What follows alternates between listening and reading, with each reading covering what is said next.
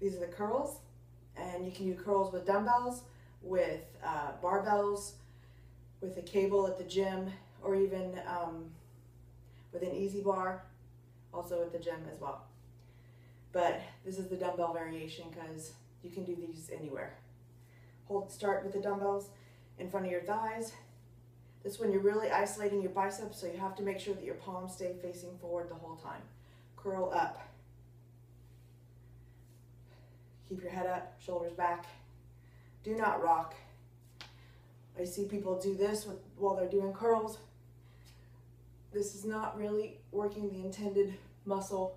It's like the full body, I want to hurt myself curl. Um, if you have to do that, then go down and wait.